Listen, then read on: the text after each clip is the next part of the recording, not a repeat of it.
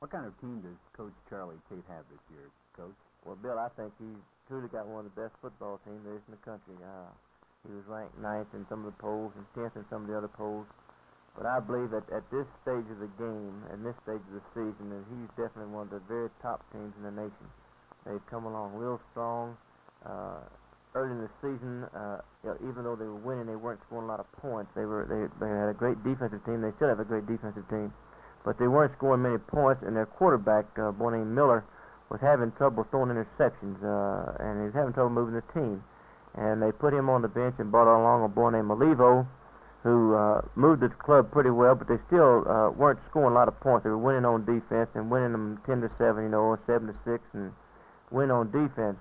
And then uh, they brought Miller back after a couple of games, and uh, he's just been doing an excellent job of moving the football team, of throwing the football. And uh, I think he's thrown something like uh, 67 passes, with only one interception the last few weeks. And they've scored 38 points against Pitt, 44 against Iowa, and uh, uh, 20 against the University of Florida.